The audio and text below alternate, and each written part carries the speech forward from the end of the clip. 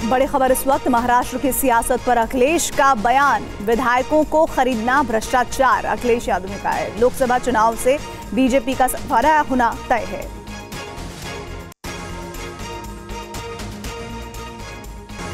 बड़ी खबर इस वक्त, महाराष्ट्र की सियासत पर अखिलेश का बयान। विधायकों को खरीदना भ्रष्टाचार, अखिलेश यादव ने कहा है। लोकसभा चुनाव से बीजेपी का सफ़र होना तय है।